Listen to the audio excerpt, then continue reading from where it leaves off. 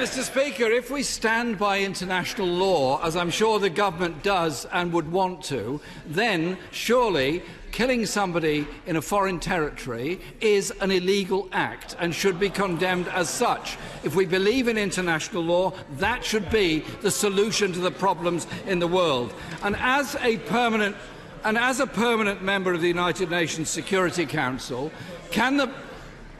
as a permanent member of the UN Security Council, could the government say what representations have been made to ensure that uh, the Iranian officials that want to attend the Security Council in order to try to bring about a resolution to the very dangerous situation in the region will be allowed to attend? And in the event of the US administration blocking them, what representations will he personally make to President Trump to make sure the UN can operate in the way that it should and must be able to operate?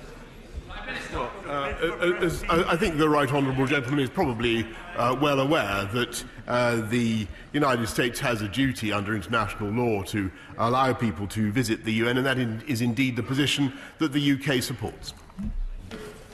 Jeremy Corbyn.